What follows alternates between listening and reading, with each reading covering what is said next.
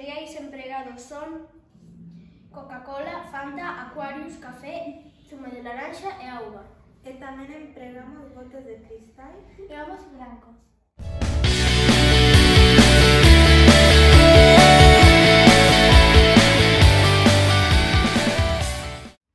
A nosa hipótese é unha vez introducidos os ovos nos tarros cos bebidas e pasados uns días, os ovos reaccionan diferente.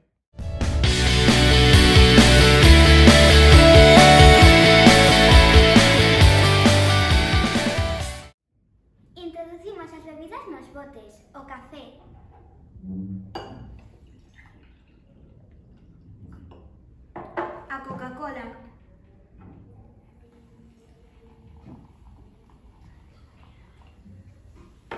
a Fanta,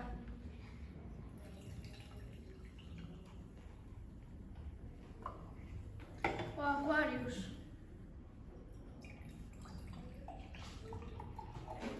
O zume de laranxa.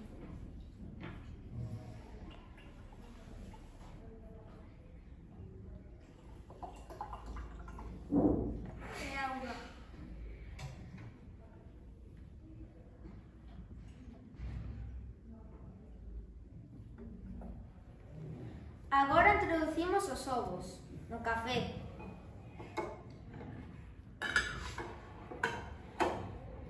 Na Coca-Cola,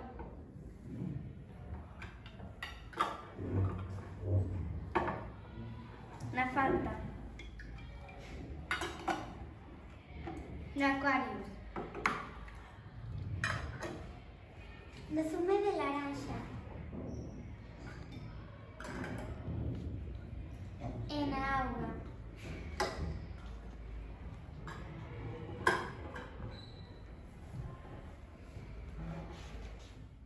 Agora imos untar os ovos con pasta de dentes.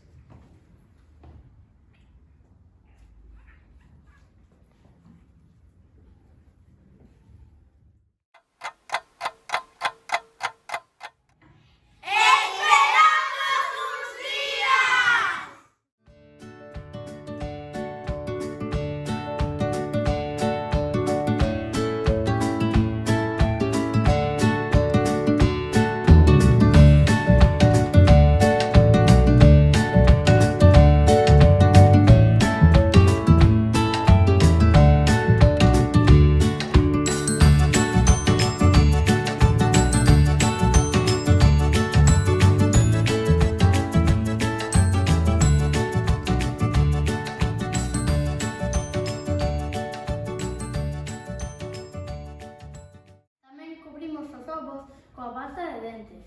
Na auga, a pasta de dentes protexeu moi ben o ovo. Na fanta e no acuario non se notou moita diferenza. No zume de laranxa creouse unha película por, por riba do ovo. Na Coca-Cola notase moito a diferenza.